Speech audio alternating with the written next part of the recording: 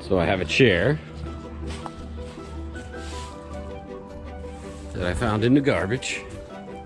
And I have a big old piece of leather.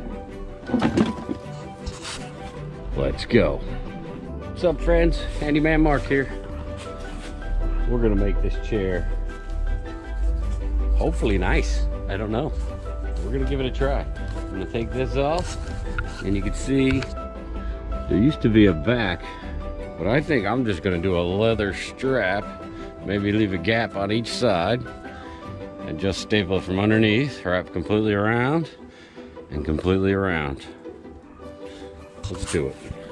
Okay, I've located four screws. One, two, three, and four. And I believe that's what holds this seat on.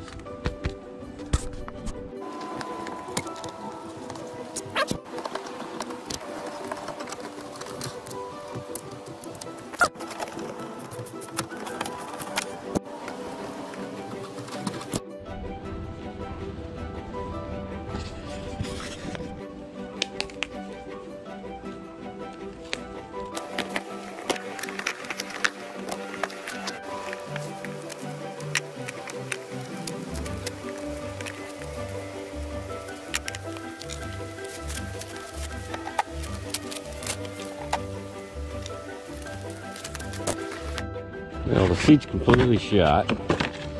Not completely shot. I mean, I could peel these apart, glue them back together.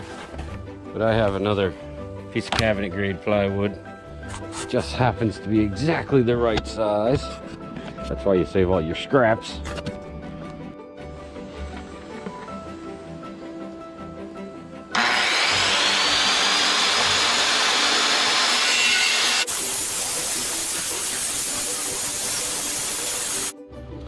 This is some super thick leather.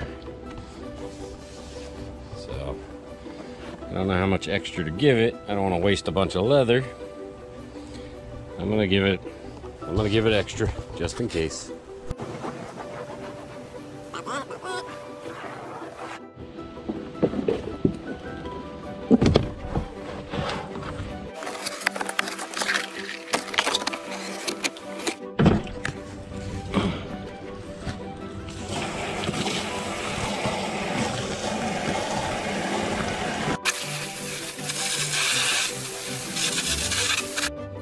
Leather's already much more pliable. I'm gonna leave it in there for a little while.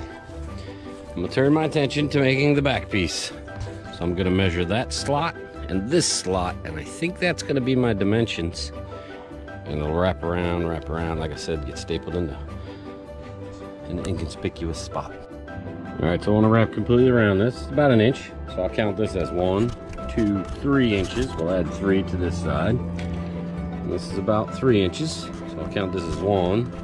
That's three, that's four, and five inches. So we'll add eight total inches to our height. So we have 14. It brings us up to 22 inches overall height.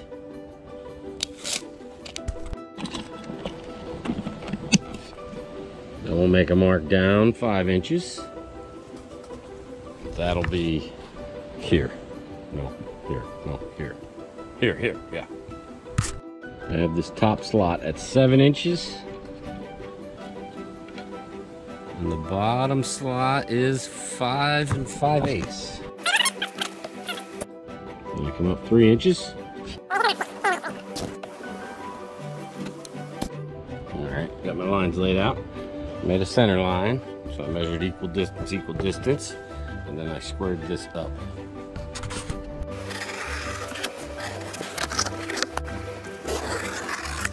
All right, into the water. This piece is getting much more pliable. Uh, shoemakers say to let the leather soak overnight, and that's on thin shoe grade leather. That's how you can get that nice round toe. Now we're gonna turn our attention to the wood. I'm gonna sand this whole thing. You can see the old polyurethane falling right off. So I'm gonna sand this and get a coat of polyurethane on it.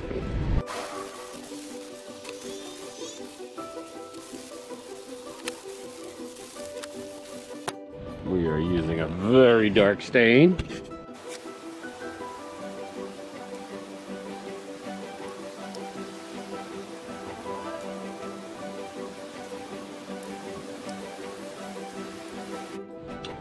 Soaked in stain, then you take a fairly clean rag and you wipe off the excess.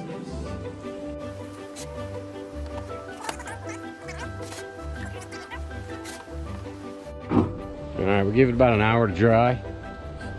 Now we're gonna coat it with polyurethane.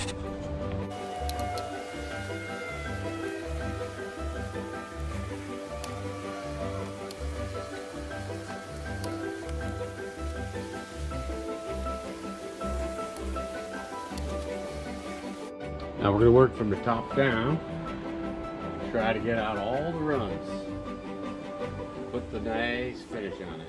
And try to brush always with the green. That'll that'll hide the brush marks.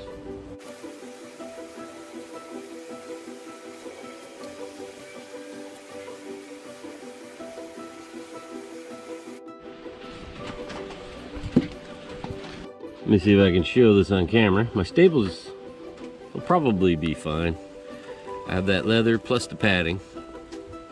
But what I plan on doing is turning the stapler on an angle so the staples don't come out the other side. This is the Harbor Freight staple gun. Very affordable.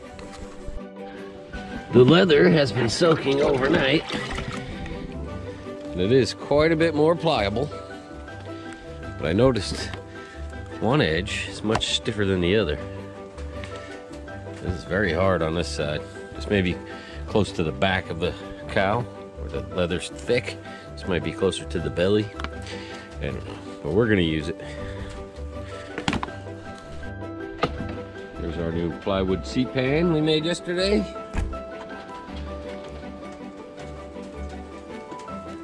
Get that down.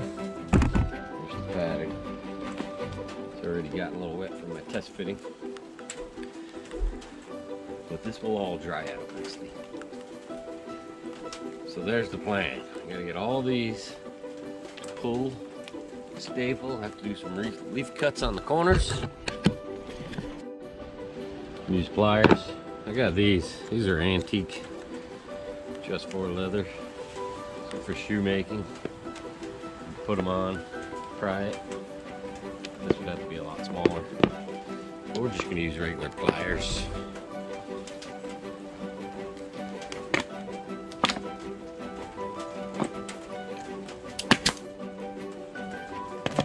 Number one.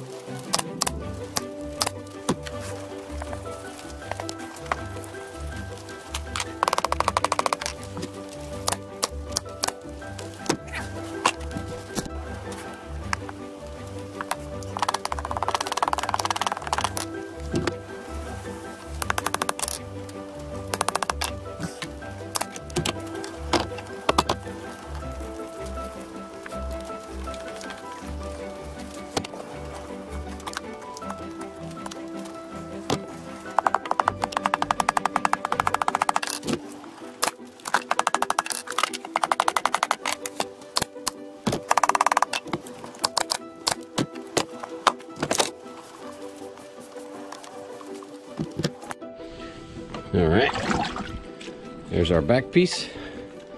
Two's been soaking overnight. Still got our marks on there.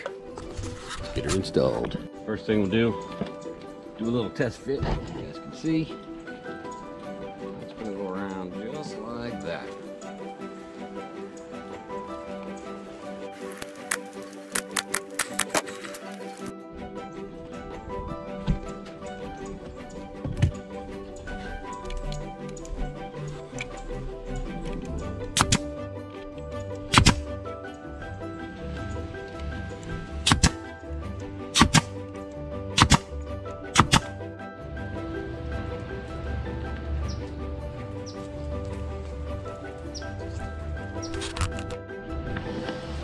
All right, it's been five days. The leather is finally dry. This leather back here dried fast. And it got super tight. This leather, because of the padding, and of course it's sealed in plywood underneath, this took forever to dry. And uh, see how the corners came out, a little, little puckering. But it's very difficult to work with this thick of leather. So, I'm gonna try to stain, dye the leather, just to darken it up, get these edges real dark, and then we're gonna wax it. Here goes.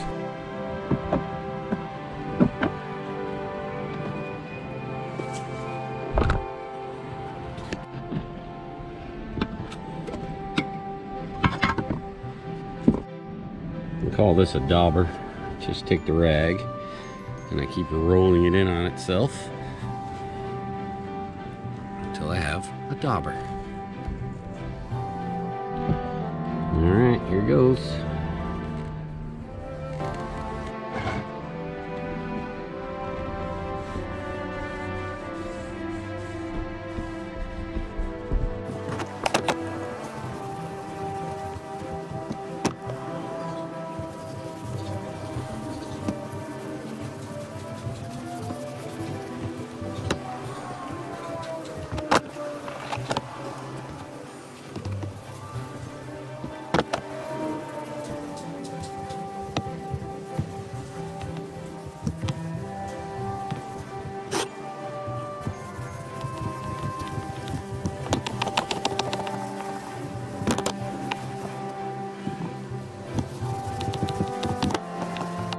I'm gonna do the back of the chair and I'm gonna use the China bristle brush.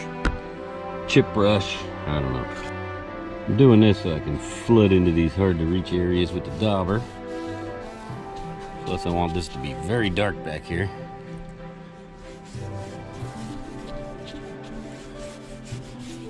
You can see that's the suede side or the split side. How much dye that thing sucks up. But I like the contrast between the very dark and the very light. It's just the way I like it.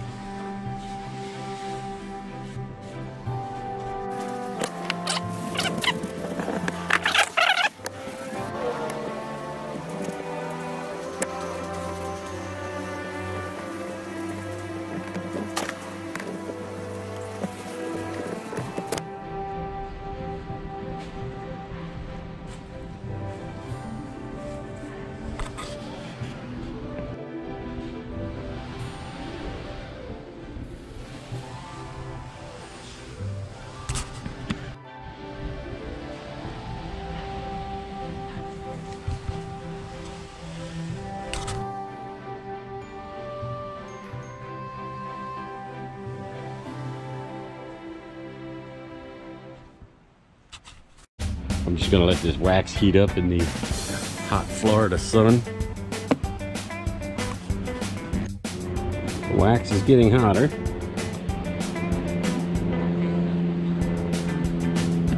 The sun is working in my favor. Uh, what we used to do with shoe shine would be in a tin like this, light it on fire, put the cover on, put the flame out, and this would be liquid. Then you could just rub it on. But we're doing it sort of slow way.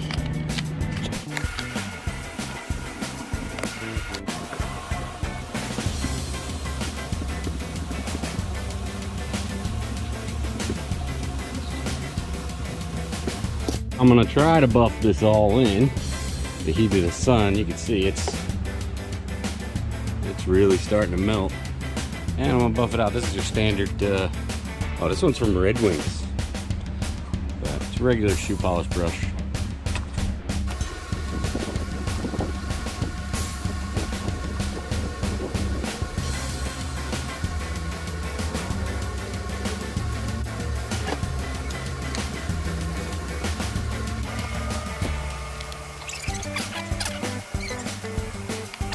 Final step is to reinstall the screws that hold the seat bottom on.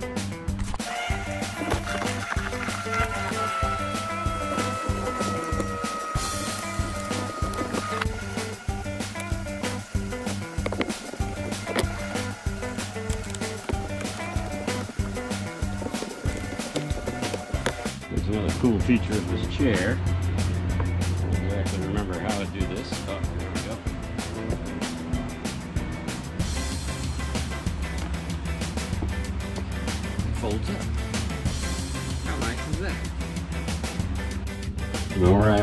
The camper. Here's our folding chair. Very unfamiliar with this thing.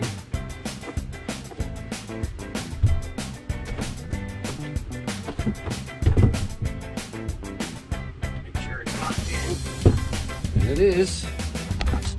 There's the new home. Now I can edit my videos in comfort and style.